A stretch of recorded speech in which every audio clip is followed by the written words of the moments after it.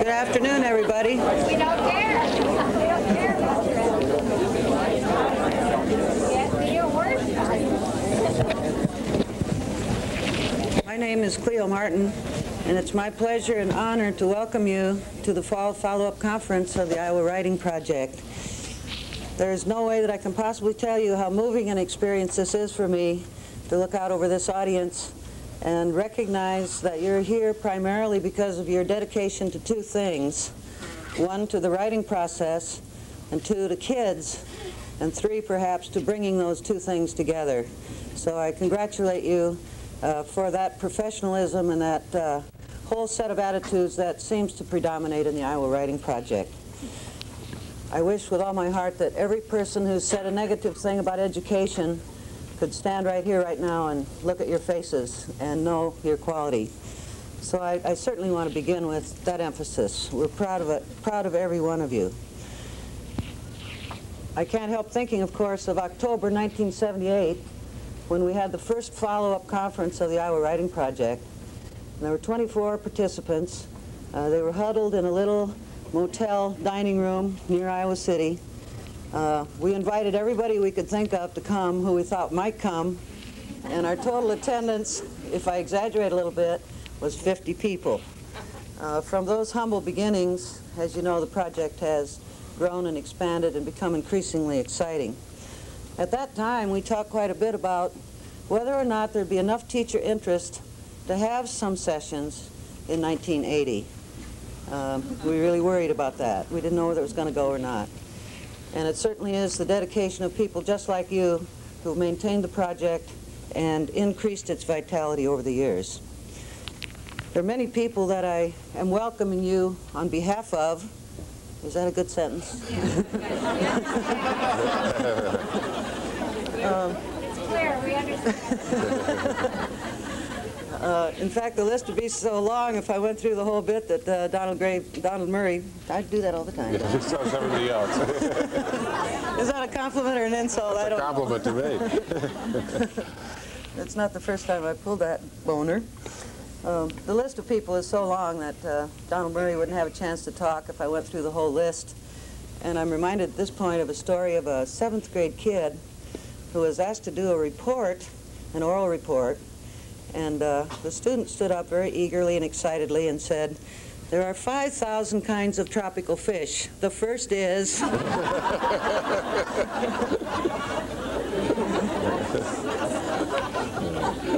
My acknowledgments would certainly have to include at least 5,000. Um, but I welcome you in behalf of the University of Iowa, English Department, Department of Public Instruction, a number of AEAs, the steering committee of the project, the advisory board of the project, a number of local school districts who've helped finance projects. Um, certainly, specifically, I welcome you on behalf of Jim Davis, our project director, and we all know of his untiring efforts. Uh, on behalf of all the teaching staff, I noticed this morning that the number of teachers now exceeds the number of participants in the first project. There are more teachers than there were participants in the first round. Uh, you'll meet Jim tonight. You'll meet the teaching staff individually tonight. Certainly, the reception of the project here at Amana has been uh, various. Um, Donald Graves said last year it reminded him more of a family reunion than a conference, and I thought that was nice. At the same, in the same year, I think it was, I was walking down the hall with a few people, and some anonymous person says, said, "Here comes some more of those damn writers."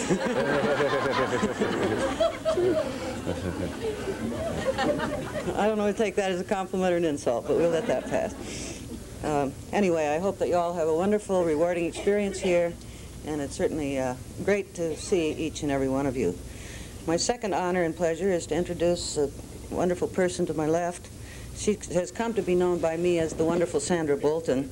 I don't know whether she thinks that's a compliment or not, but um, Sandra was in our level one project in 1979. She has since taken level two and three. I think she even took them in the right order. Some people take one, three, and two. Sandra took one, two, and three, I think. Sandra's now working on her PhD at the University of Iowa. Pleased to say she's also a member of our rhetoric program teaching staff. And as most of you know, she's also president of the Iowa Council of Teachers of English. This is Sandra Bolton.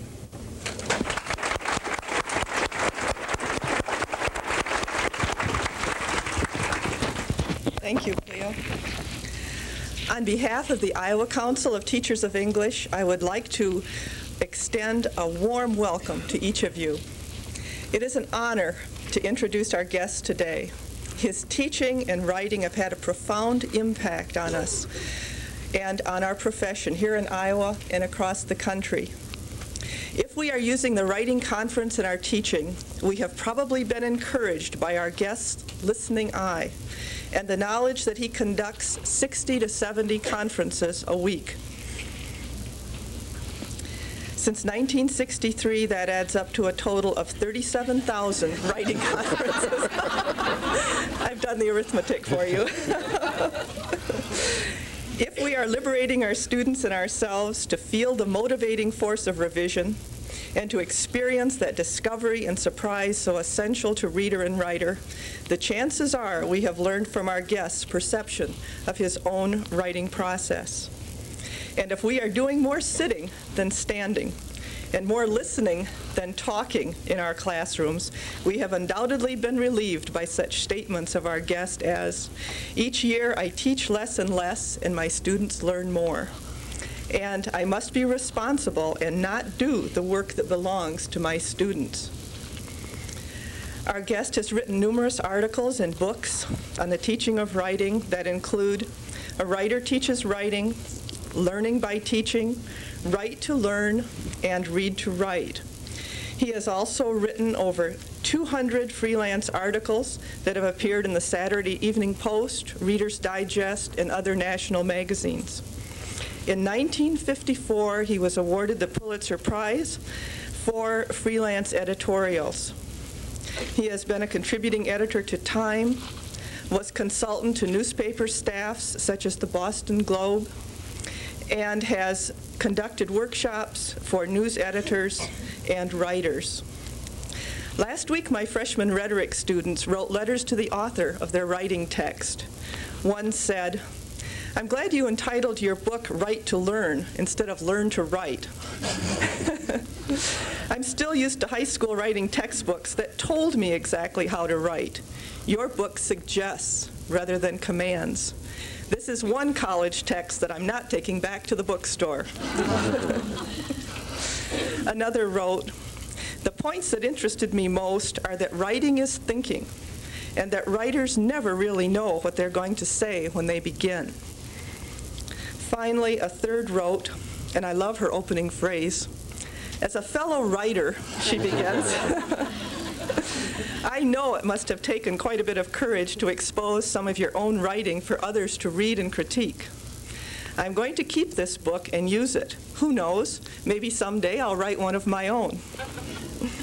A tribute to our guest would not be complete without saying a word about his wife, Minnie May, and her invaluable contribution to his work, which I think this story illustrates. When he was preparing to drive from the East Coast to the University of Wyoming, where he, where he would be teaching for a year, he was worried about all that lost writing time. So a typewriter was installed on the passenger side of the car, and Minnie May typed eight hours a day while her husband dictated. When they arrived, they had 155 pages of copy. Please welcome with me the University of New Hampshire's professor of English, whom Donald Graves calls our giant back here, Donald Murray. Do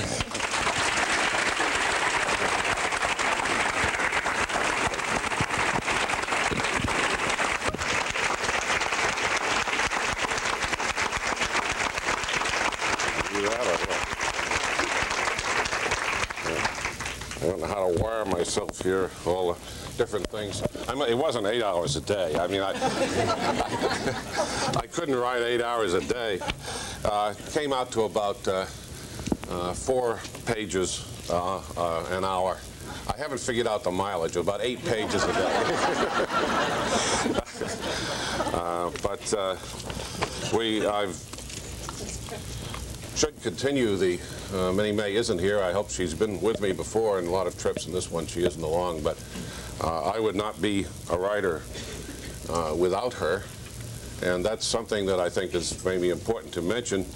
Uh, my confidence uh, as a writer was such that until I married her, and she's my second wife, I uh, would write a lot and then I would heroically and romantically throw it away and burn it. Uh, she comes from a background that uh, people in Amana will understand, uh, a German background where you use the nose and the tail and the foot of the pig as well as the prime cuts. And uh, she couldn't see any reason to throw away perfectly good manuscripts, and so she started mailing them out, and they started getting accepted. So uh, I really do uh, owe everything to her. Uh, she's my best friend, and, and we, in my writing, she's all involved in this. She's a very good writer herself. Uh, she's published everything she's written, but she's only written about four things. And you find you can't motivate other people to write. I can't get her to write enough. Uh, rather frustrating, as a matter of fact. But I think we have that experience with our students and colleagues who we know could be writers, but have the discretion and not to become one.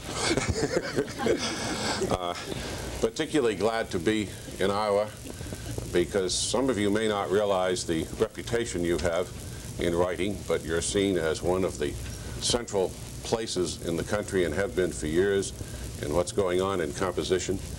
Uh, you have provided many leaders for us in other parts of the country, and uh, I'm honored and pleased to be out here and to meet so many more of you, those of you I've known, and uh, it's been a wonderful visit. Uh, we're going to start out by demonstrating some conferences. Uh, Jim Davis has agreed to be a student, and I've agreed with a great deal of nervousness uh, to be a teacher. And uh, we're going to try to do a few conferences uh, to have a, to set a context of uh, of at least participation by observation. Now this will be show then tell, I guess. One mic that you need, and the other one. He thinks he's nervous.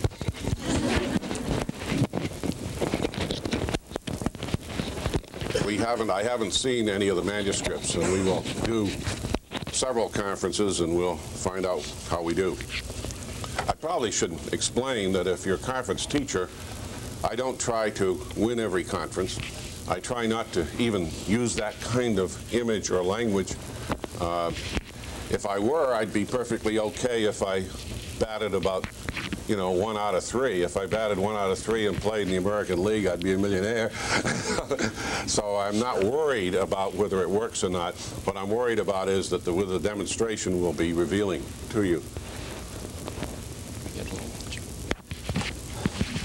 We need to sit down to do this, or do you? I'll try it standing up. I've never done a standing up conference, but if we, we'll, we'll disappear out of camera range. What we're trying to do at this point, as I understand it, is uh, model conferences at about three different points in the semester. And the the first conference, I'm trying to come in as um, a student early in the semester. Um, Perhaps even the first conference with uh, Donald Murray. Okay. Uh, Hello, I'm scheduled for um, conference today. Spontaneously, we have all our students wired in this school. and so-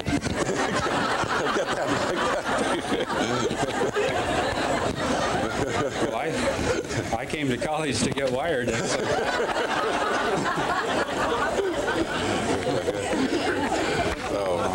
What, what did you say your name was? Uh, Jim Davis? All right. And you're a freshman? Yes. Yeah. Where do you, where'd you come from? Where's your home? From uh, the southwest Missouri Ozarks. Oh, I've never been down in that country. That's pretty good country. Not bad. Not bad. I'm fond of it, very much so. Why'd you take the writing course? Well, I've always wanted to write and um, haven't really done much writing in school uh, through high school. A lot of schools don't allow that kind of activity. Yeah. Um, What I've, what I did do in school, I wasn't very interested in. Um, the- Any writing I care about, I think I've, um, I've largely done outside of school. Um, Haven't really shown much of it to a teacher. Have you got some of that outside of school writing with you? Well, I brought, uh, I brought one piece that we could look at Okay. today.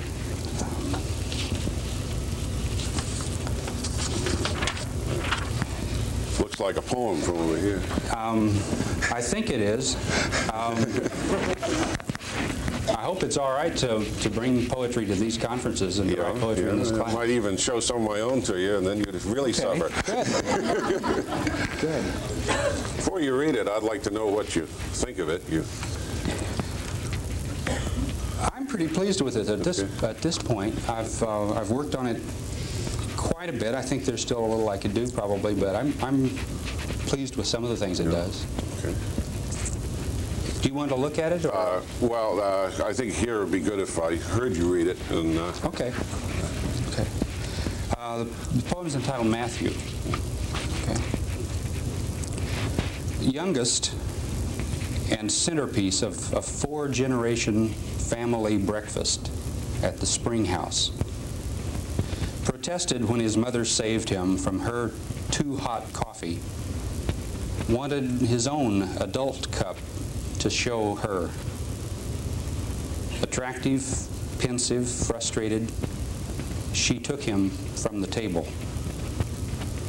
Conversation swirled on in their absence. She's lost so much weight. Can't wear her clothes. Compete with a younger woman. Snatches of life served with eggs and hash browns and toast. Doing what's best for someone else a thankless job at any age. gee, I like that. Um, You going to write some more stuff like that for me? I, I can try. I don't know whether I have any more in me or not. um, but anyway, that's the that's the kind of thing I'm interested in. Okay, well, let's bring more in next time. Okay. Thank you.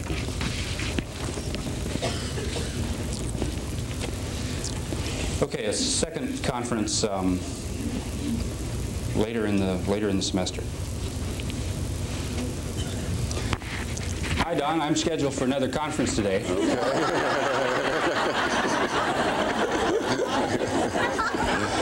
you know, That makes my day. I've been I- wondering what I was doing here. I thought I thought you never were going to get that last person out of here. she was writing nice stuff, though. I, you know, I heard some of what you were talking about, but Well, you can see why I well, it have lasted a long time. students come in and sit, and they sometimes learn a little more when their own stuff isn't under, under consideration. Yeah, that's a nice idea. Good. Well, what you got for me today? Well, I, I brought one that I've been working on. Um, it, it kind of um, happened to me in a, in a class the other day. Um, you know, another class, we were, we were being taken through a, I guess an exercise, I don't know what you'd call it, but um, it was supposed to be a four-step exercise, and on about step two, um, this poem started happening, and I don't know what the other two steps were, but uh, I went with the poem instead, and the teacher wasn't too happy, but um, um, the poem's underway anyway. I, there's problems with it, but, you know, it's a shot. Behind breastworks, he clutched a powder flask, measured grains of pain and grams of death into a blue-gray bore. Unaimed, arose to roar, to fire, but took a minie ball into his open mouth and through a jaw. Fought on for future tending. Later still grew an enduring beard to hide the scar. Behind a divided house on my stone patio, I caress a bronze measure from another time. Raised flower beds, block by block, temporary shield from contemporary woes. In solitude, to dress less honored wounds. Good. What, uh, what do you like about it? Well, I like the fact that it's, um, first of all, that it's, that it's about a great-grandfather um, I never knew. I saw his picture one time that I can remember, uh, and I remember the beard. And um, I finally found out about why he grew the beard. And then when my grandfather died, um, because of my interest in the Civil War, they gave me a little bronze measuring device that he had carried all the way through the Civil War to measure powder and shot for his muzzle-loading Yeah. gun. And I still have that. And in this activity, I was reminded of it and started putting a couple of, of things together. The images started working, so I liked what it's about. And I like some of the parallelism in the structure. Yeah. But I guess the thing I'm uncomfortable with is I think it's a little obscure. You know, I, I think it means more to me than it does to a reader, maybe. I, I don't know. How, how did you read it? Well, I guess it started me thinking about uh, a fellow I'm indirectly named for, great great great uncle, I guess, that fought at Waterloo, and the Donald Morrison part of my name has passed along through the family. And uh, when I went overseas to go in World War II, my grandmother thought I was the uncle that had been at Waterloo that she knew as a little girl. Kind of gave me a sense of history. So. You want to be perfectly honest, I kind of went off and did the same thing you did. I started writing my poem. and uh, You want to read the rest of mine? Well, yeah, I'd like to keep it. I'd like to keep it and look at it and get back to you tomorrow or something if you can come Okay. by. Maybe I'll show you my version and uh, we can do that. What do you intend to do next with it? Do you have any idea? I don't know. I don't want to change anything until I'm sure of, of what I'm doing. I, you know, I don't want to revise out of it some of the stuff I like in Yeah, it. yeah. You know? Well, do you mind if I mess with it, if uh, mark anything on there or not, if I feel to like it when I get in there? No, I have another copy. Okay, all right, good. All right, as long as you don't take me too seriously, fine. Okay. I'll see you tomorrow. Okay, thank you. Another conference uh, toward the end of the semester.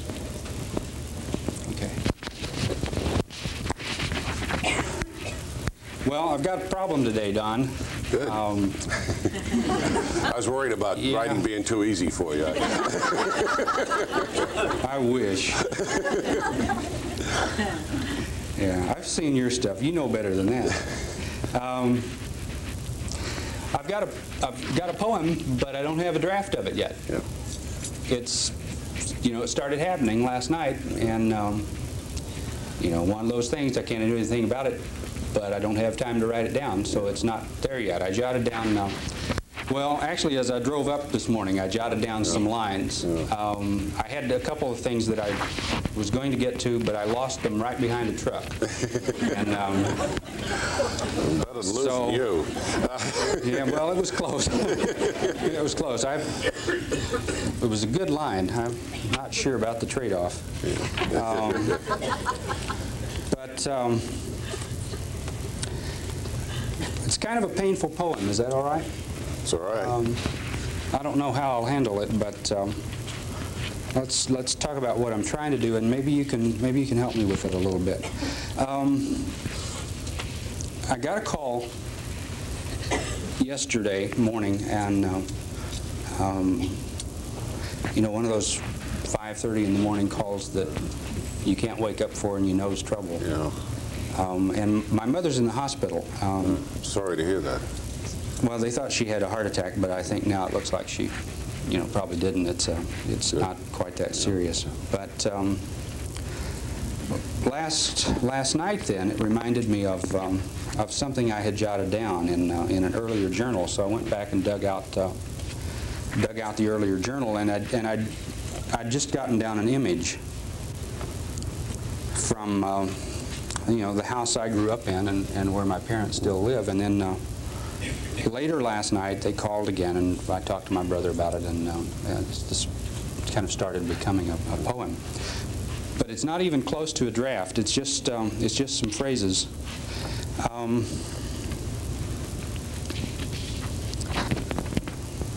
let me do as much as I can of what's in my head with it. Sure. Okay. Yeah.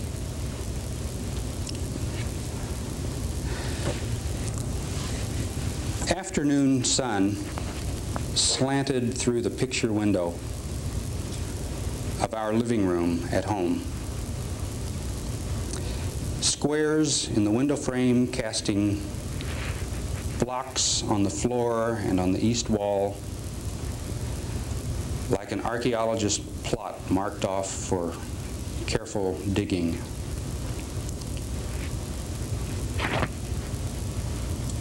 But the sun moves, and I, unlike Joshua, move with it. Besides, that living room was an image. Not there did we live our lovingly destructive lives. That's as, that's as far as I've gotten with it Yeah. at this point, so. Well, I'd keep following language. Uh, some of the conferences, you've worried a little bit whether people understand you. And when we we're first writing, I think we try to tell people how to feel or worry about their feelings. You can't do that. You just got to get right there and let me feel it and then see what happens. I, I, I just like to have you follow that language wherever it takes you or follow your eye or your ear. Well, you, you know from some of my other stuff that I've written a lot about my father. And um, it hit me last night that I've not written much about, about my mother. Um, kind of the reverse of roles in your writing and, in, and in your life in, in some ways. But one of the things I worry about with this is, um, you know, where it may be going and what I may be shying away from. And how do you handle writing about painful things with people still alive who don't need, you know, really to be told of things they can't do anything about. Well, first of all, I probably wouldn't show it to them. Uh, I took my father, who was in the retail business, to see Death of a Salesman, which was one of the most cruel things a young, young arrogant college student could do. sort of learned from that. uh, but I think you've, you know, you've got to follow where you're going. But if it doesn't feel good, I wouldn't do it. Uh, remember when Julie was writing about uh, her sister that died, I kept telling her in conference and in classes, you remember that don't write about this if it if it's painful to you, but if it feels good, which is a funny term, we don't know what language, but if it's healthy, you know whether it's healthy or not, do it. If it isn't healthy, do something else. Wait for its time. I- Its time's going to come. And it may be now and it may not be now. How do you become a poet? Well, I don't know. Uh, you I guess you write poetry, which you're already doing. Then you send it out. That's the scary part, isn't it? Sending it out. I think the scary part's not writing it. You may be I stopped writing for a long time, and when my father died, I started writing, and I realized I hadn't been writing poetry, and, and I was going to get out of this world someday, and I wasn't going to have done that. So I think it's much scarier not to write it than write it. Does this thing sound like it could go anywhere to you? Yep. Sure is scary stuff. Well, thanks. I'll see you next week. Good. Thank you.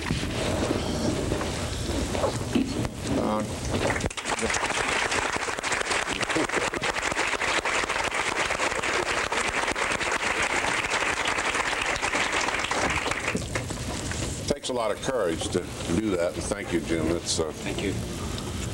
and uh, it's interesting, as all of you, you get to know a person better when you when you see their work. Um, those conferences were typical of a kind of tone and a kind of attitude, and I'll talk a lot about it in theory, theoretical terms and very practical terms in the next few minutes. Uh, but it was typical of what goes on. It's also typical, I should uh, say, of what goes on from first grade through with professionals, of writers talking to writers back and forth. Um, I go into elementary schools a lot because of Don Graves' work, Jane Hansen's work, and uh, kids will come over to me and say, hey, I'd like to have you look at my lead. or I think I got something here, I don't know if it's a poem or not. And, and uh, it's, the language is a little different. The furniture in elementary schools is different. I, if you if you're overweight by an entire other person, uh, pretty discouraging to try to get down on that furniture. but, but uh, what we've been doing is response teaching. My preparation for this was my own writing this morning, and my writing other mornings, and my reading this morning, and some quiet time, and seeing some human beings and being alive. Uh, I just wanted to be as ready and concentrated to forget as much as possible that you were here, that the camera here, and the lights here, and that I was concentrating intensely on him and on the text, but in that order. The reason for response teaching is demonstrated this morning. I don't know. I knew Jim as a, an educator. I've met him at meetings, know his reputation. Uh, I knew him as the person who invited me, did all those things, picked me up, the plane, got me here, fed me. I knew his reputation with other people, but I didn't know him as a writer, and now I know him as a writer. There's no way I could prepare for this conference. There's no way I can prepare for any of my students. Uh, I find myself prejudiced at times, although I went to college on a football scholarship, when I have a student with no neck, I tend to think that there's no brains there. and uh, may the usual stimuli, you know, the prejudices that we, that we have. Uh, I don't know what they know. I don't know what the students need to know. There is no content in the traditional sense. There is nothing that I feel I have to tell people. I see my own textbooks as a resource for students that are used differently, as some of the students have indicated, and they can get from that, but I don't think there's anything they have to know. There's no absolute sequence of what they need. Uh, you can hear what happened uh, because Jim chose to have it happen, and it and makes a good reason. He felt insecure, so he showed me a finished poem first and got to the rough drafts last. Uh, that's not the way we sequence things, is it? We demand rough stuff first and final stuff last. You know, he reversed the writing process. And what should I do? I think I should do what I do is take what I've got, take the student where the student is, listen to the student, listen to the text, respond as a human being as best I can. The student initiates. This was freshman English. In our university, I would have had to say the second week, I don't think I would have said it the first week, I would have had to say that although I write poetry myself, we can only write nonfiction. And although I realize there's something called the nonfiction poem that these sound like, I can't have him uh, putting his prose in a funny arrangement on the page for the grade in the course. Uh, but I'm very happy to read his poetry and very happy to have him write some prose too. And I think you'd understand that. Well, the student would pick the, pick the topic, produce a draft, this is very revolutionary stuff. Uh, a friend of all of us, Phyllis Schlafly, apparently head, heads up an outfit that has uh, just attacked some school systems in New Hampshire. Get yourself ready if you haven't been ready for it. There is a group that's had quite an effect, I understand, in Arizona that is fighting the idea of topic choice by students. Uh, and has succeeded in some school systems with letter writing to school committees that students are not allowed to pick their own topic, their own genre, or their own conclusions. Um, we will have to fight that one uh, as best we can. What are the responsibilities of the student in this kind of teaching? One, to find a territory to explore. And let's not assume that they're all personal and family territories. I have one class in which nobody is writing personal stuff this semester. Five people are writing fashion in that class. I have never had a student since 1963 write a single story about, story about fashion, and now I have five in one class. Uh, absolutely amazes me. Uh, I have enormous disinterest in fashion. and that's just perfect because they are educating me and I'm in the ideal situation. It's much better when I don't know about the subject. I tend to feel that horses are badly trained dogs uh, and that my experience with horses and what they leave around have led me to feel that the automobile was a big step forward. but I have lots of students that educate me about horses, and it's wonderful. Uh, they want, I want my students to explore it in writing. It's a writing course, so they have to do this in writing, although a lot of writing is oral, particularly in the beginning. They have to evaluate that exploration. In other words, they have to find out what they're discovering. They have to share and use the resource of fellow writers which includes the teacher and the classmates. They have to help others during their sharing, and this is very important because then they see writing in process, which is very good. As I mentioned in my conferences, I, the students sign up for a regular time, 15 minutes in my case, uh, at the university, and they come to the door whenever they get there, and they come on in, sit in another chair, uh, and uh, we have, if the student or if I don't want them there, I wave them out. But most of the time, uh, they come and sit and they hear the other conferences and they learn a little more in that. Uh, they continue to explore old and new territories. I don't require revision, but I allow it. And uh, they keep writing. And whether or not Jim will write about his mother now or 10 years from now, we do not know. Jim does not know, so I certainly can't know. Responsibility of the teacher is to write. And I made myself preparing for this, not just prepare this talk as I got up early this morning and rewrote all this stuff, but I made myself work a little bit on a novel just as a kind of purifying experience, just as saying this is my writing, this is, puts me in the, re, re, I'm more receptive of other people's writing if I've done my own. My job is to create a climate where exploration is irresistible. And uh, you create the climate in many ways. I was, I feel as a teacher, I was helping to create the climate here. To, although I was nervous and my hands were shaking, I was trying to be comfortable as I could and relaxed and to admit my nervousness, which allows the other person to, whatever is appropriate. I try to, in my office, I have a big uh, clock that I got with green stamps. That's where I can see it on the wall, but the students can't see it. I try to dress and behave in a way that's comfortable. I try to design a schedule that fits their schedules. I had to drive my teaching schedule all apart because so many of my students have children this semester and they're coming quite, in some cases, quite a distance. We had to juggle the class times around and you try to create an environment where people can function. Uh, they, uh, then I want to be a, a resource, a model listener. We don't have many listeners, so my job is to listen. And if Minnie Mae were here, she perhaps would say, what she has said so often. Uh, she is not only a companion and a friend, she is a wife. And she will point out that she has never heard anybody talk so much about listening. but uh, as a teacher, I, I try to listen, try to shut up, try not to say too much, try to underteach.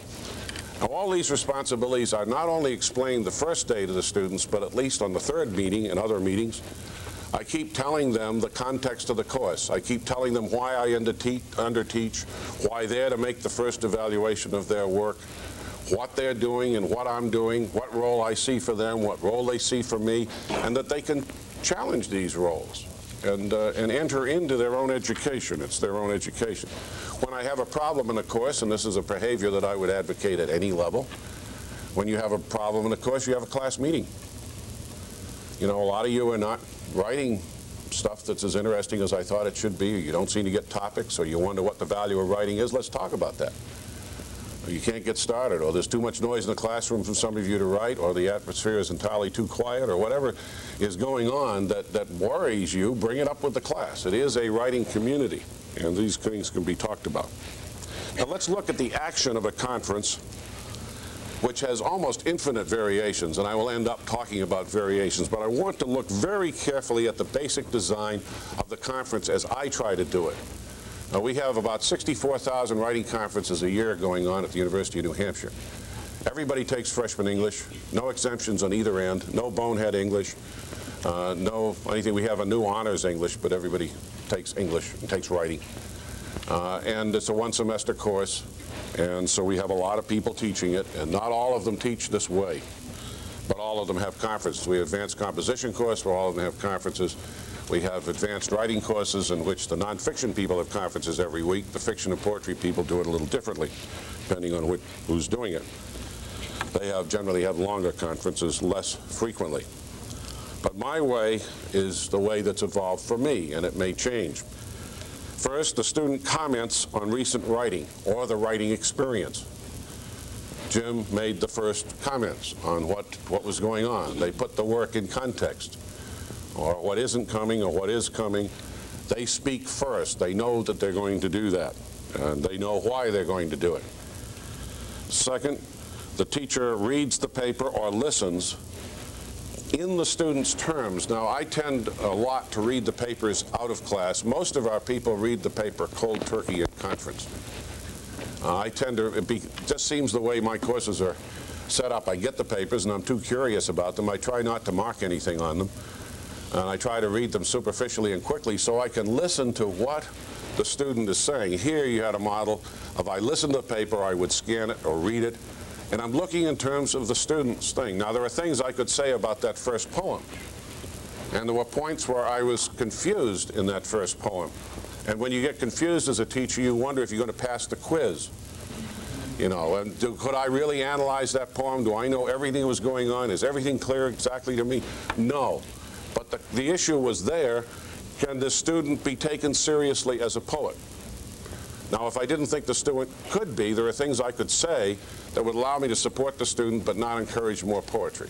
In this case, I'd encourage more poetry, but I don't think it's the time to be critical. I'm going to have the student for the whole semester. If I can keep my mouth shut, we're going to get some stuff, and I'm going to be involved in that way. So you read the paper, and you respond in the student's terms whatever that is. I want careful editing, maybe messing around in that second version. I probably would have taken the student in a normal thing and started playing with that poem if the student would let me right there with the student there. And the student would have taken the text back, said, I, you're not getting this right. And I'd say, exactly. you're the one that knows what you want to say. The student invites further response from the student. Do you, how do you intend to do it? What do you like best about the paper? What surprised you? Uh, what do you need to do next? In one of my articles, I have a list of questions that I evolved. The, uh, the more that you evolve those questions for the student, the less you have to use them, but I think it's important to come out. But uh, some of the favorite ones of mine are what surprised you in this? What do you intend to do next? What do you think works best? What needs work? What do you feel like working, working on now? How does this fit into your history as a writer? In other words, how does this fit your goals? Or are you making a step forward or not? And look at, or, and I may intervene and say, look at what you can do. Do you realize what you can do now that you couldn't do in September or whatever the thing, putting in the context. And ask the student, this is often doesn't need to be asked explicitly, but if it doesn't, what do you intend to do next? Uh, what's going to happen next? Okay. Now this whole uh, system, and I've missed saying something important I want to delay about why I do some of this, we'll get to that. The workshop, uh, small group or class workshop builds on the same model. I don't have workshops until I have had a few conferences and have modeled the behavior I like in the conference of helpful behavior. When we have a workshop, we ask the student, how can we help you? The purpose of the small group or large group workshop is to not to be a test of walking on fire or that kind of thing that many graduate writing programs have evolved, where the student does not speak and the student is attacked and the student shows their macho toughness. It's no mistake that these programs have all been established by men. And it's a very macho locker room, football playing, paratrooper experience, and I never got screwed around with because I had played football and was in the paratroops. And that dynamic was the thing that made me feel least comfortable about workshops when I came to teach. Because I thought a lot of idiotic things had been said, and I didn't know how to change the climate until several things happened to me that caused me to say, hey, wait a minute. This is something that, that one thing that I was in a workshop conference with Don Graves and that group where I got attacked for the way I'd begun an article. And, uh, and I defended my beginning of that article for two hours and was very angry at everybody when I left and not very helpful. And I realized later about four days for the adrenaline to simmer down. If somebody had said to me, what's your problem with the piece, how can we help you, I would have said, I've tried to start this 30 different ways and it doesn't work. But I wasn't allowed to say that, and so whang, I was in there. So I went back and uh, and started workshops saying, how can we help you? And immediately students started making comments. Well, I wonder if it's clear, if it's well organized, is this a poem? Are those lines there? Do you know if this has happened? Would this convince you that abortion is good or bad or whatever is, is the issue on or off the page? That, that we read our texts in workshop on the basis. Sometimes this semester, I'm asking my students to do that in writing, that they pass their paper out in workshop with a statement at telling how we can help. And the students read the paper, and I read the paper on this instruction. Usually I find with my students' papers, because I was an English major, the 30 or 40 things wrong. I can take my favorite authors, a Joan Didion, or, you know, or any number of other people, and find all these things wrong with them. I've been trained to do that. I certainly can with my own copy, and I certainly can with students. What I want to know is what the student's ready to learn at that time. Okay. What was the time of this conference? Did you, Which, which one? all all three of them, what was the first one? Four minutes. Four minutes was the first conference, Second one was four four minutes. the second, and the third one was seven. Third one was seven minutes. Uh, I would not have guessed that that long, other one was as long. I would have guessed that they were under five minutes because of my ex- experience. Now, I'm not advising that you have a four-minute conference or a two-minute or a seven-minute conference. What I'm trying to say that this is a practical teaching device. The more frequently you see the students, the more, the easier it is to have shorter conferences. You're dealing with one thing.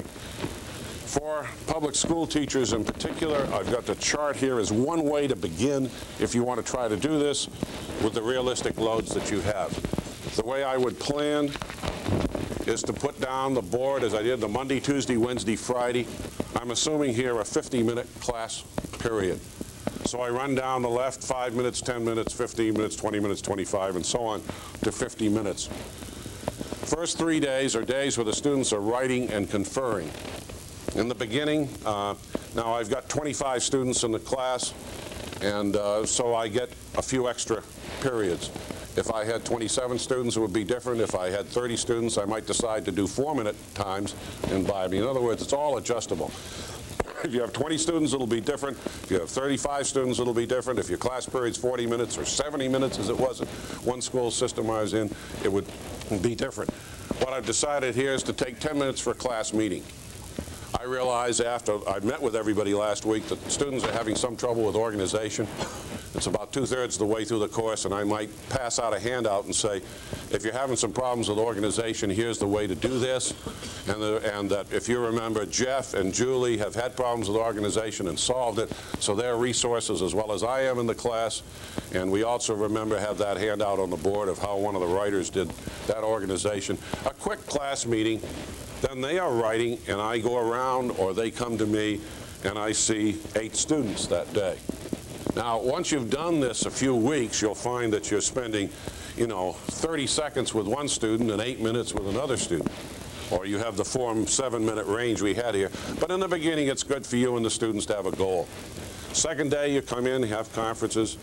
About the middle of the class, I realize something's going on here and that we need to think a little bit about some problem. And, uh, or better yet, somebody in the class has got one hell of a piece of writing. And I say, would you mind sharing that with the class? And the thing that might happen is I might say, you believe it, and depending how I knew Jim and in the class environment, uh, we got a poet in the class, and uh, he's agreed to, to have his first poetry reading. And, uh, and Jim would read a poem, and he'd sit down to thunderous applause, and we go back to writing. and uh, we go along here. We'd have some more conferences. The next day, we'd have some other conferences, and I might have a meeting here and say, just reminding you, you're going to publish on Thursday. You got to get your stuff ready and. Uh, and remember about the semicolon or whatever I think you should remember about. Uh, and uh, then on Thursday, everybody publishes. That means that they share in some way. Uh, they share in small group or or class group or copying in some ways or not, but they get some other readers uh, than, the, than the teacher. And what happens here is that the students are either writing or doing their homework, then doing their writing at home, or reading, or conferring with each other, or doing whatever behavior is appropriate in this three times to the level of students, grade 7 or grade 11 or grade 16 or whatever that's, that's there in, in, in, in whatever level you will accept. Now, if you want to learn how to do this, you first have to go to elementary school teachers. We all know that it starts out with the kindergarten teachers being best, and the first grade teachers are just a little less best. It starts going directly down until it gets to the university teacher. Uh, and so go down to the elementary school and talk about classroom management. People in the elementary school know how to manage a class. English professors that you've had do not. So you go to them. You go to shop teachers, home ec teachers, art teachers, music teachers, phys ed teachers, and they tell you how to manage this. As I visit lots of classrooms at different levels doing this, I am absolutely amazed how much noise and intervene, how much action you tolerate is what you tolerate. The most important thing is the thing for the teacher to be comfortable. There is no level on this that anybody needs to worry about, but I've got to be comfortable to function. I was not a permissive parent. I was a freelancer. My kids were young. They did not answer the phone and laugh and hang up and lose three semesters of groceries or something. I went one year 11 months with no income waiting for that call, and you don't let the kids mess around with the telephone, you know. I mean, but somebody else have kids answering the phone all the time. That's fine. That's their house. My house is one way. My classroom, I put an environment which I can function, the kids can function. And sometimes it's very quiet and sometimes it's noisy. Then they publish, then Friday they respond, revise and edit, responding to what happened in the publication, what they learned from their readers, and they put their paper in their folder. This is a, a pattern, not the pattern, but it is practical to do this. Now, what has happened in the conference and in this pattern?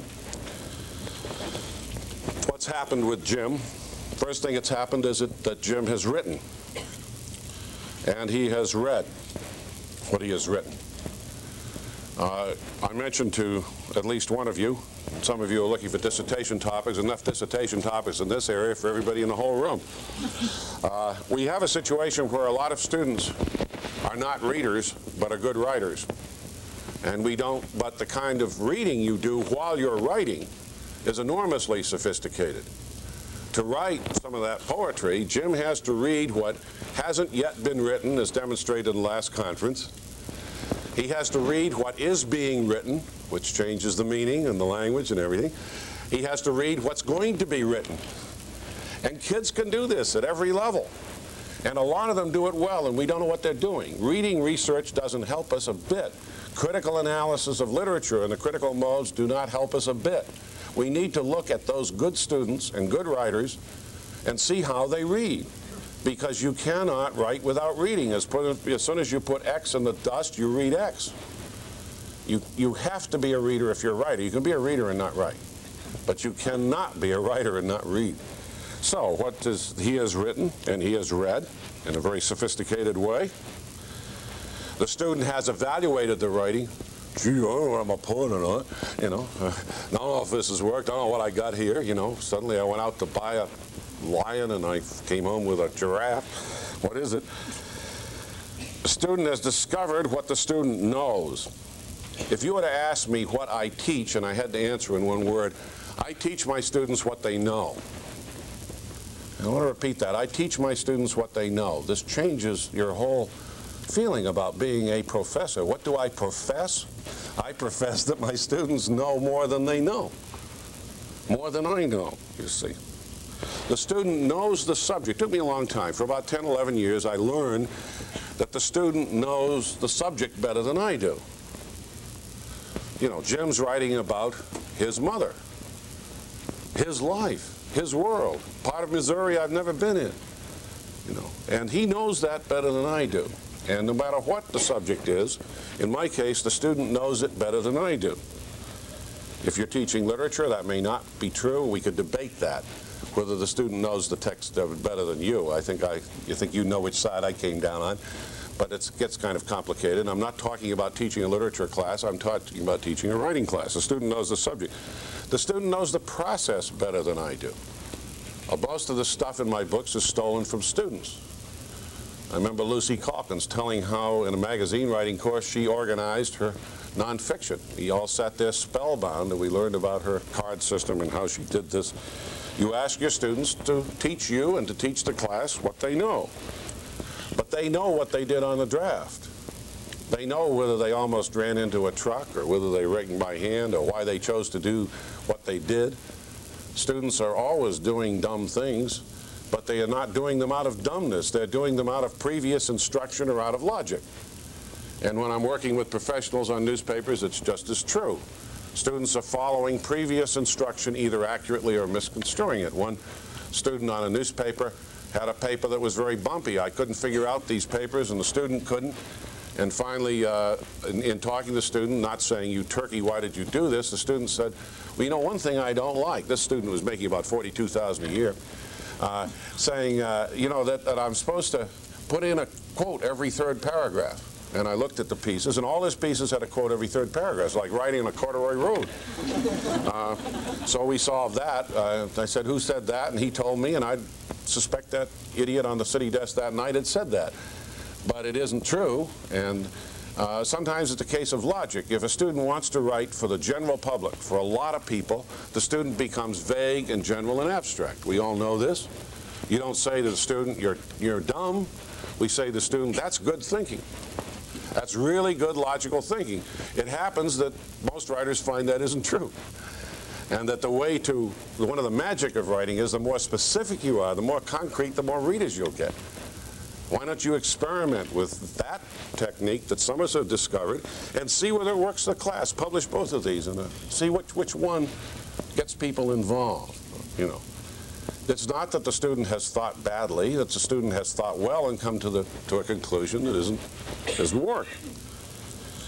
The student in this process of questioning discovers that he or she can identify and solve writing problems.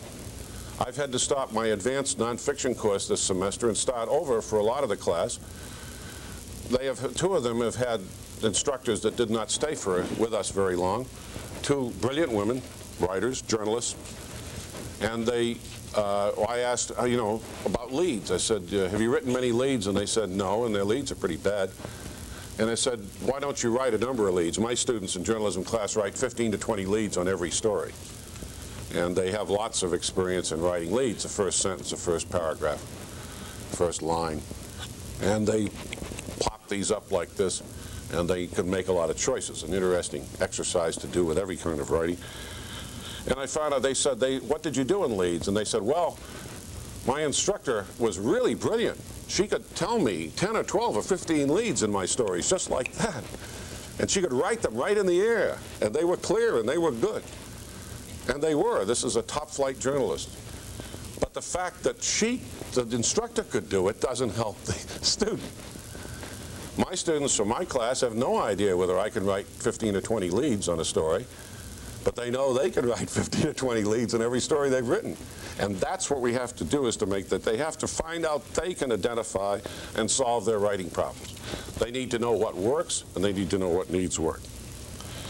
Let's go through the handout that I've given you to make things that I want to end up with very specifically. if you want to get it out, fine. If you don't want to get it out, fine.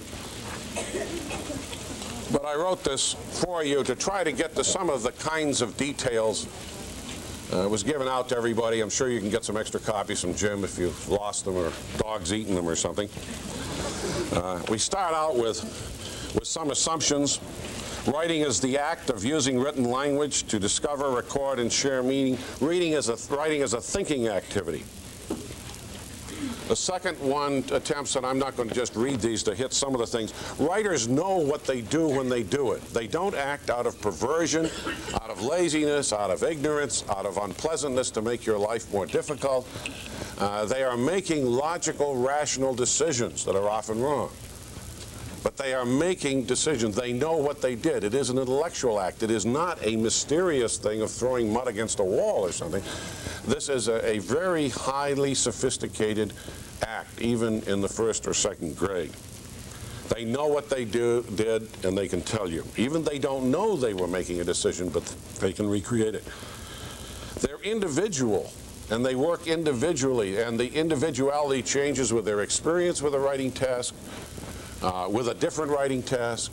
When I first started to write memos as an administrator to a dean when I became department chairperson, I had to learn a new kind of fiction writing, and it became very easy after a while. But it wasn't at first. You change according to the task, and it changes according to your personality.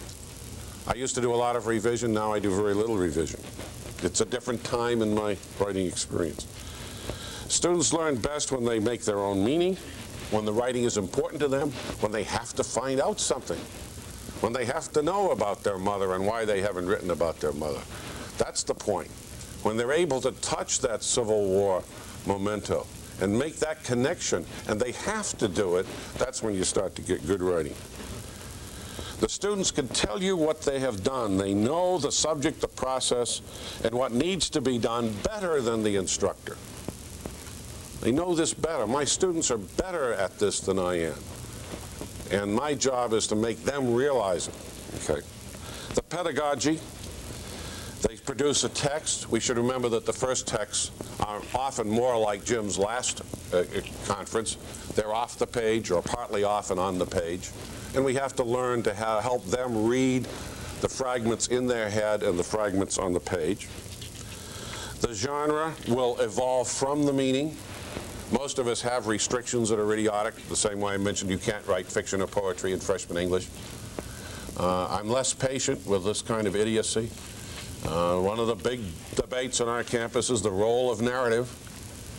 Uh, I do not understand why my literature colleagues who are drawn into the teaching of literature because they want to be writers and because they read stories are so upset about narrative. They feel narrative is an inferior intellectual activity. They ought to go try to write a novel. I think that it's more sophisticated. Anybody can write poetry, can write anything. Anybody can write narrative, can write anything but poetry. Corporations go to people like myself and get them to write for me and politicians and ghostwrite because I write fiction and poetry. I mean, this is, this is the way the world is, and literature people seem to think that writing a paper critical analysis is intellectually superior to creating the poem or the story. It is not, he said discreetly. Uh, I, I think the genre should arise from the need, from the need to say something and from the audience. The student initiates the teaching by making first evaluation of the text. You meet with your classmate and with other people. The students teach the teachers. If my, my instructors that are going out for the first time or people that are suddenly going to say, I've got to teach composition differently, where do you learn this?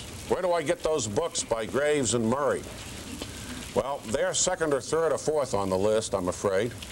Hope my publishers don't hear this. Now, the first person to teach you is your best students in your class. And any student, whether you're learning, learning disabled students, students that are declared retarded or terminal, the term we use in New England, terminal. 14 years old and you're terminal. That's a wonderful term. Since I flunked out of high school, dropped out two years and flunked out finally, I get very angry about this kind of declaring terminal. We'll identify with a lot of this. But at any given class, I wasn't doing well in English, incidentally, when I was dropping out of school. I was working on newspapers and publishing and stuff. But I didn't fit very well. I was also a compulsive reader. I read Lorna Doone the first night it was given to me. Didn't much like it, but we had an English teacher who gave us quizzes, and if we knew the answers to some of the questions, it would indicate we read the whole thing. We'd read the Shakespearean play. I'd take book home and read it all night if necessary, because I was a book reader. But I would get penalized. Wonderful, wonderful. Good old days. Don't any of you who are younger uh, feel guilty about this uh, good old days business. Uh, education is better now than it was when I went to school by thousands of percent.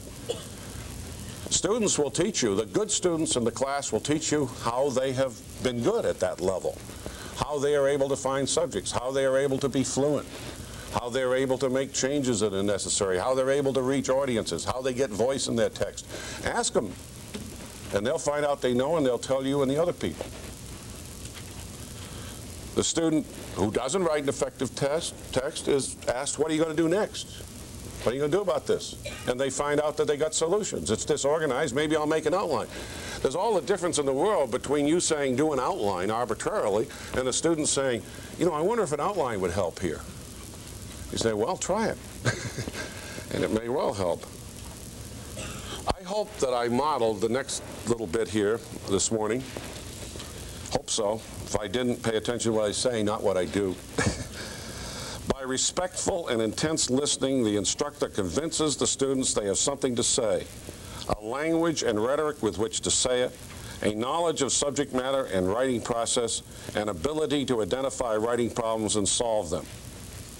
By respectful and intense listening, that's what I want, want to do.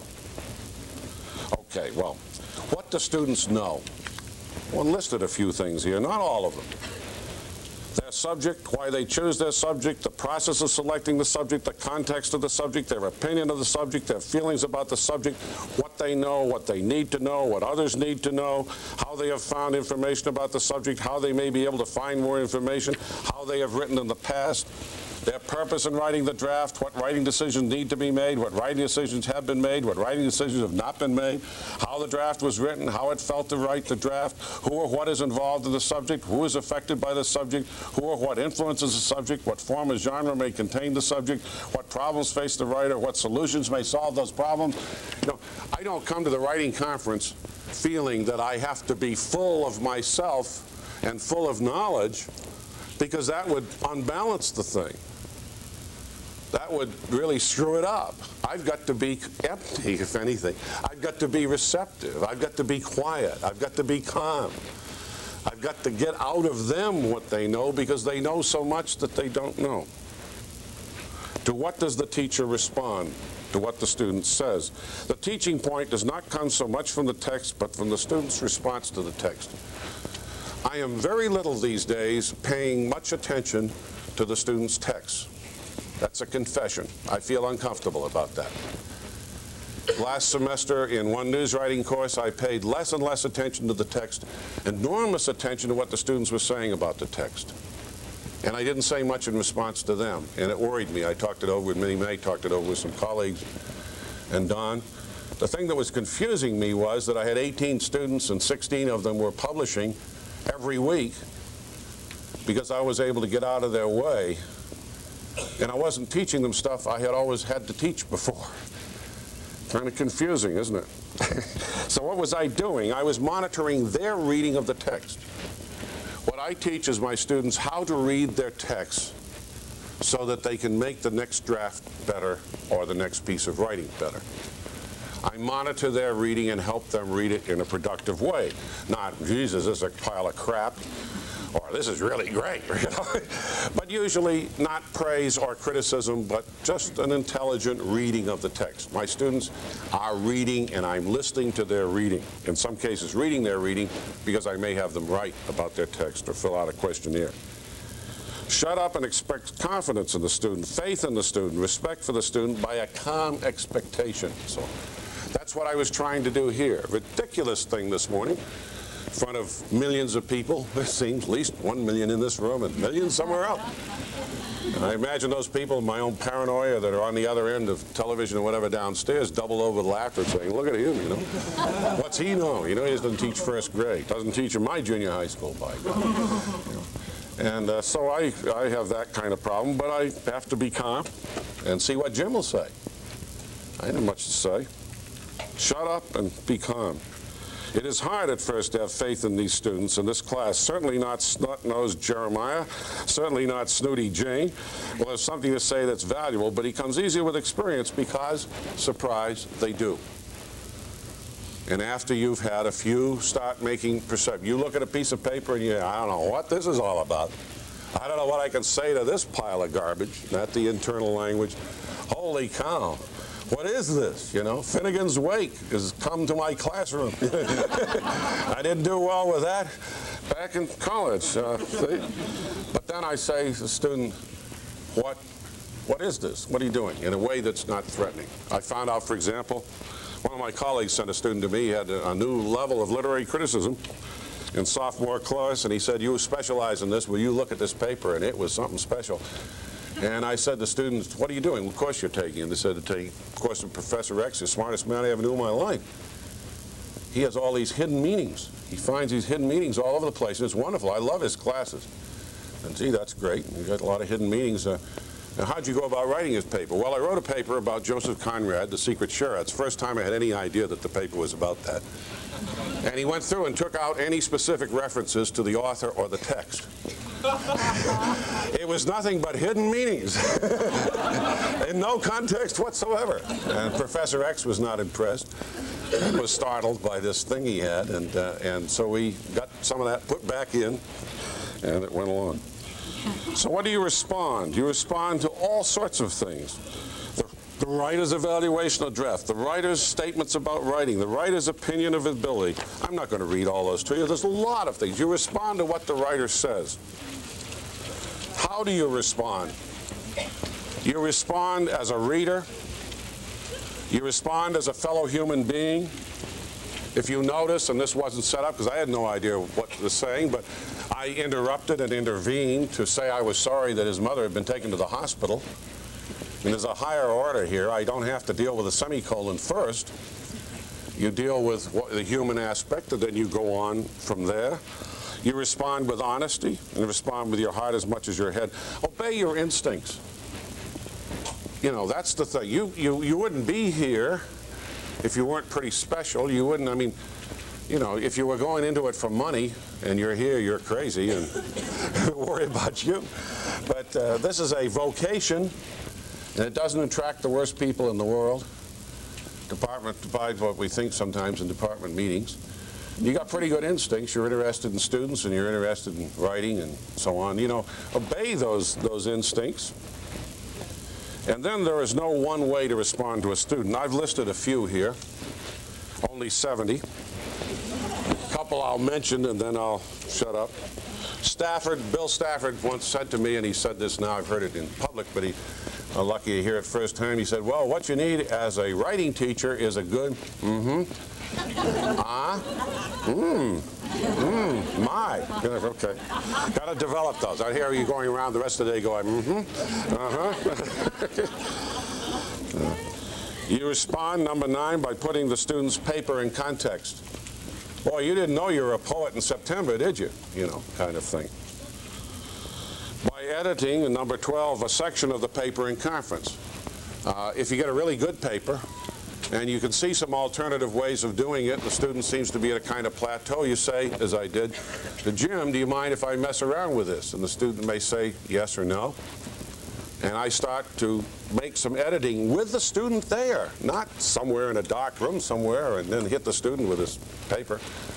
I do it with a student there. I wonder what would happen if you do this. I usually try to do two or three different things. I'll try to make, I'll use a verb that's stronger and a verb that's weaker. I'll make the sentences shorter and then hook them together and make them longer, big, big question marks in the margin. So there's not just one way. But I start messing around with it. And the student enters into this and says, well, that's not the way it is. That's not the way it was. And then I say, of course. That's why you've got to do the revision. And I'll help you show you some of these tricks. But I don't have, in my mind's eye, that vision that you're doing, or in my mind, I don't have the idea that you're developing, the concept, or I don't, I'm not a computer major a computer science major or a business major, I can't tell you what the conclusions are in this report. 19, by inviting the student to give an account of how the piece was written. Very important to do that. I'd like to know how you write this piece. If the student is very good, you will learn. If it's a disaster, you'll probably find out the student worked at it in a very logical way. And that you can find out and perhaps suggest some other ways. 21, by making the student asking a student what has surprised him or her during the writing. I do play on this idea of surprise, that students are learning while they're writing, and I ask them to tell me what they've learned during their writing.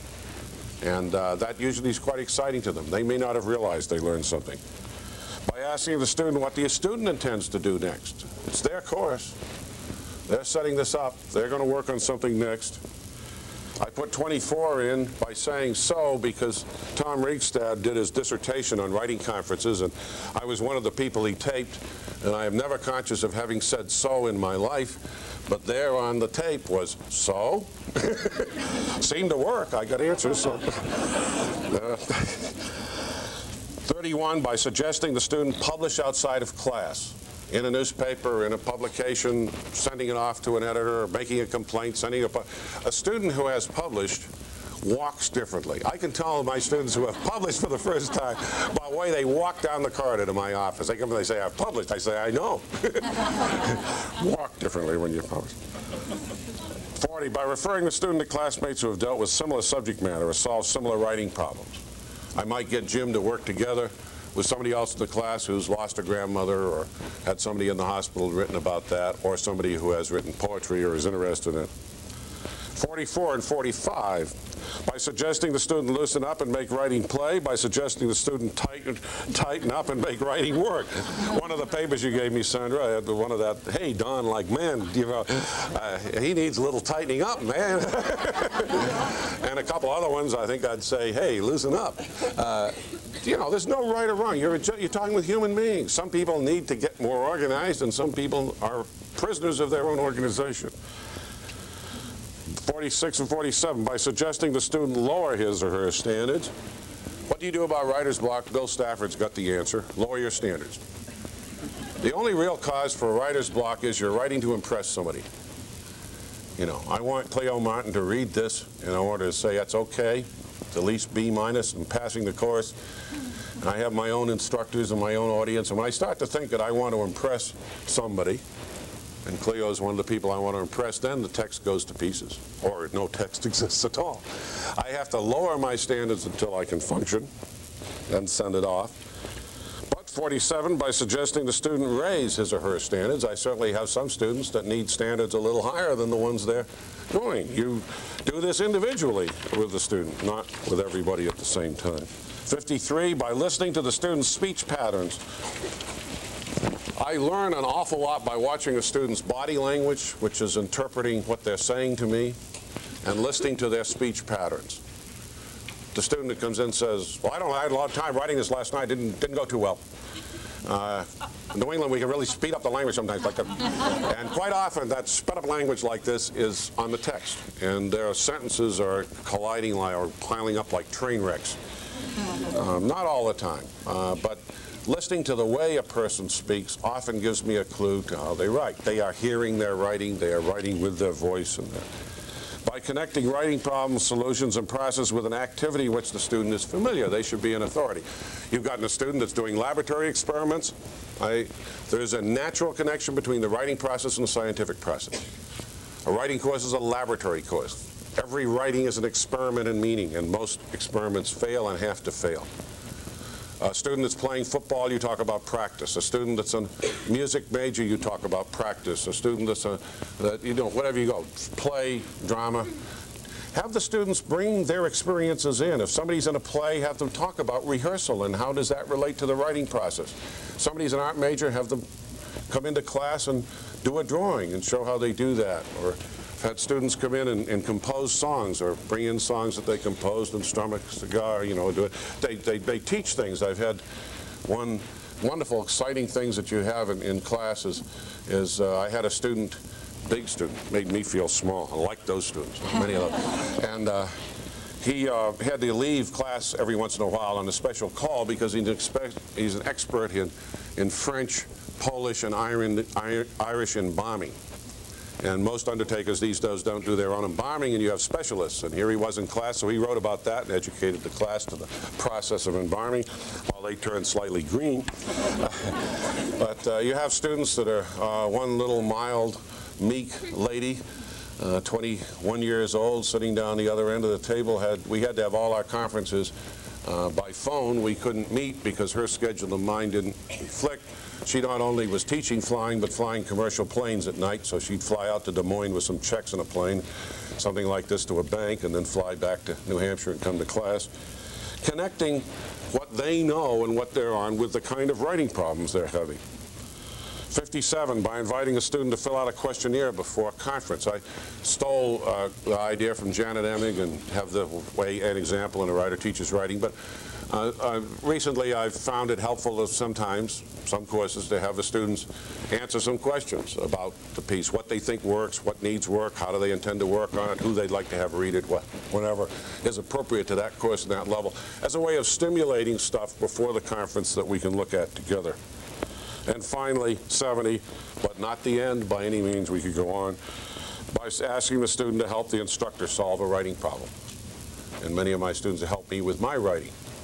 And this leads to that business of, we were mentioning, uh, I think it was Mr. Lyons at, uh, breakfast today, that what marvelous work that many students are doing with overhead projectors or on Blackboard, having the students help them with their, write, their own writing and have students suggesting how text can be changed. All of this is a bunch of nuts and bolts coming out of, of one rather simple theory. and that is that our job is to do responsive teaching. We are not initiators, we are not beginners, we are not people who have knowledge that we would pour into empty vessels. If our students are coming to us in first grade, they're coming with years of language experience, and every grade after that. And our job is to find out where they are and to listen to them and help them keep moving forward. So, thank you very much.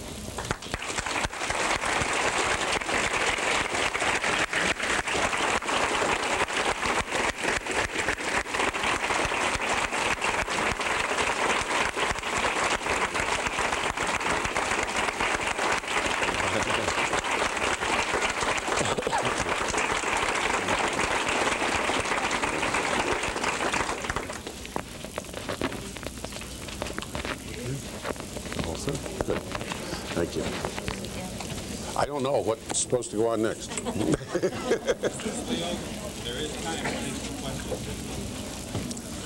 There- Well, there is time for questions. Fine. Up to you. If there are questions, I'll be glad to answer them best I can. Been very patient, a long time in a hot room. You may not have any. Huh? Hmm? There's a question. How do you begin your opening class that you're going to present How do you begin with an opening class? I go a lot of different ways, but I think that the best way and the more remedial the class, or in Jimmy Britton's terms, the less, the less they expect to write, is to get them to write. And I would write on the board or in my own writing for long enough to get something down, which usually averages about four or five minutes. I don't want it very long. I sometimes use it three by five cards because it keeps it manageable. And uh, I write and they write, and then I share my writing first because if I'm going to ask my students to show them their writing, they better see my writing. And so I share my writing with them, and then we go around and everybody shares their writing. If somebody doesn't have any uh, or doesn't chooses not to, I don't initiate that as a as a possible out. But if they are obviously uncomfortable, we go on to the next person. And we hear the writing. We don't see the handwriting. We don't see the spelling. We don't see the punctuation. We don't see the sentence fragments, which incidentally are English minor sentences now. we, uh, we hear the voices. And the class transforms right then and there from a group of students who are expecting an authority to a community of people who have potential. And it takes patience because the, I did a different kind of thing, but an exercise like this the other day in class and this week, and uh, got way around before there was anything very good. And I got to be calm and expect and listen, and I get rewarded. I've never struck, out, struck out. I mean, the class has always come through, but certainly not the first papers, and not the 10th one, and not the 12th one, and not the 13th one. So that's the way, if there is a way to start. I mean, I do different things, and but that's the, the a way that I suggest as the best way to start. And that's the way I start with most workshops, when working with teachers, as you go out and work with teachers to get them right first. We did that the other day. We just, today, the, the numbers defeated me. But in that case, you do a demonstration or something that gets involved in the act. You don't talk at them. You try at least to get them involved, and I hope by Jim's cooperation we got you involved. You demonstrate, you participate, you get into the act of learning yourself. That's all. I have a question. Yeah. Um, During your action of conference, you said the student speaks first and knows why. Yeah. What, what do you tell them why? Oh, I say in class that they know what they're writing about, Oh, okay. and they know how they've written that draft. And I may get anecdotal in my own experiences that uh, I found as a writer that editors are constantly saying to me that I wish you'd spend more time on this the way you did on X, you know. And I know that I wrote X first draft under the worst conditions and spent no time whatsoever. And the piece they think that was rushed may be a fifth or sixth draft. And the students seem to recognize in their own experience that their own writing in school, that the judgments teachers have made have also doesn't reflect what they went through to produce it. And so they, they can understand that they know what decisions they made, and they know their subject, and their job is to teach me the subject. and to tell me how they wrote it, and my job is to help them do an increasingly better job. But I can't presume to imagine. I'm always amazed when picking a writing staff is, excuse me, interesting as Cleo knows. I have people come to me and say, I want to teach with you in freshman English, let's say. Uh, I know exactly what those students need, and I have an approach that really has worked for me, and, uh, and I know what they need to do next September, and uh, boy, uh, they, they have struck out because uh, they're too smart for me. I, I have no idea what my students are going to need in another class next September. My classes are different. My students are different within a class, and so I try to find out. And I explain this to them the first day. Now, most students, whatever you explain the first day, doesn't, they're so confused, particularly if they're freshmen. And so I repeat it several times. And I'll repeat it in conference. Students will come in and they won't know what's expected of them, and I will repeat it again. you know. I want to hear from you, you know. Uh, students uh, can't, uh, students abhor a vacuum. And uh, if you give the students a little room, give them a little silence, they'll fill it up, you know. If you don't talk first, it's amazing what'll happen. How do you help students develop editing skills? Uh, when they have something written that they're proud of, when they have something to say, when they're proud of the message, and when there is a real occasion to publish it, to share it within, or better yet, outside the class, then they, we can work on what editing skills they need to know. The interesting thing is, is how language breaks down for the writer. The most important breakthroughs I make is when, when, when my syntax is breaking down. And uh, the biggest problem I probably have, the two student types that are most difficult to deal with, is the excessively fluent student, the glib student. Uh, teaching at a university, I like English majors least and philosophy majors next least. Engineering, our best writers usually come from our agricultural school. Really, that's no, no joke. This is the real thing. Uh, there's people that just can turn the stuff out and are some of the engineering type students who are following rigid rules right along, you know. They're taking Warriner and actually practicing it, and they're writing badly because of it. Uh, so you have that kind of, of, problem. With those students, you have to get them to, to loosen up and be unaware of editing skills. And the other ones, you have to help them be clear at the end. But most drafts start clearing themselves up as they go along.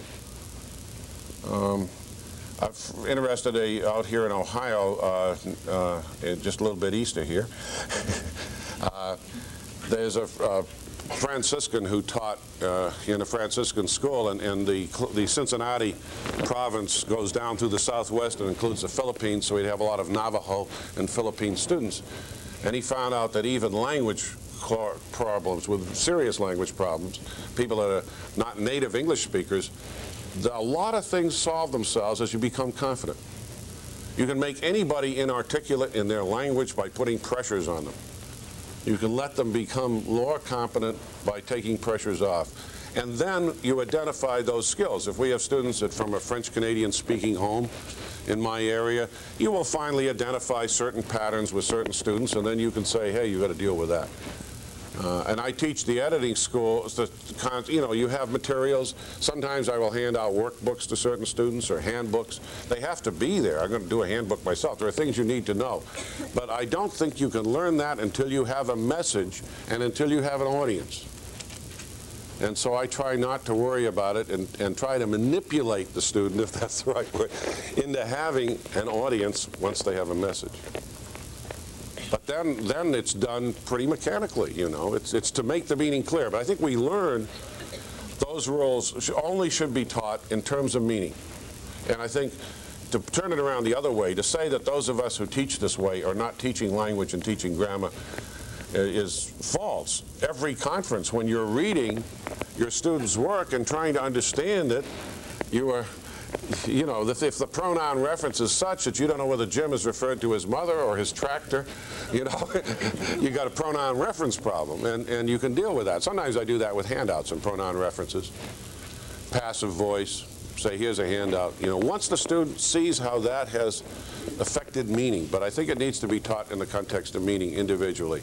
Or a class meeting. I find that if, if 30% of my class is having a problem, then it's, then I have a class meeting on that.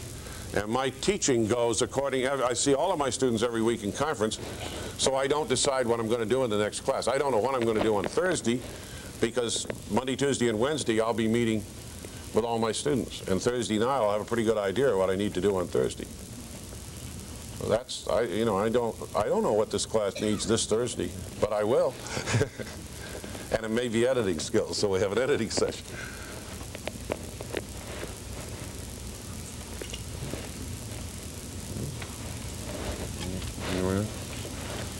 Okay. Thank you very much.